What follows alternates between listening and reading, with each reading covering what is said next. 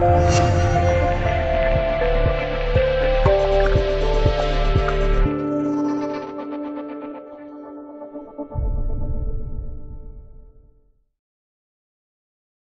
调了一段时间的火箭再次爆出重磅交易，这次终于轮到安德森了。这个夏天似乎是在圆去年的梦。安东尼来了，安德森走了，一切看起来都那么美好。莫雷神一样的操作，用安德森加上新秀梅尔顿从太阳交易到奈特和克里斯，一直都觉得这是不可能完成的任务。没想到莫雷做到了，而且都觉得这笔交易火箭并不吃亏。换边全联盟的安德森还能够让莫雷发挥到极致，可见这最佳总经理确实有能力。安德森并不是没有能力。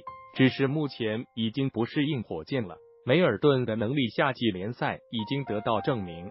太阳队可以说得到两个集战力不错的球员。交易来的克里斯有很强的运动天赋，是个很好的护框大前锋，只是脾气不太好。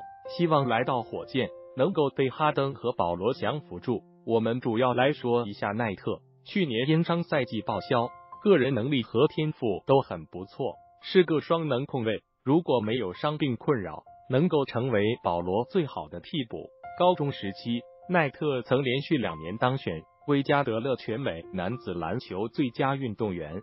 这个奖项是全美体育专家和美国体育记者组成的委员会，从全美五十多万高中男子篮球运动员中评选得出的。对于高中生来说，应该是最高的荣誉了。他也是继詹姆斯和奥登大帝之后第三位连续两年获此殊荣的运动员了。可见奈特的天赋和技术不容小觑，一个有较强能力的超强后卫，加一个二十一岁的运动天赋惊人的大前锋，能够很好的补充火箭的板凳深度，以便在西部强手如林中更加有竞争力。希望火箭能够很好的开发和使用这两个八号秀的天赋和能力。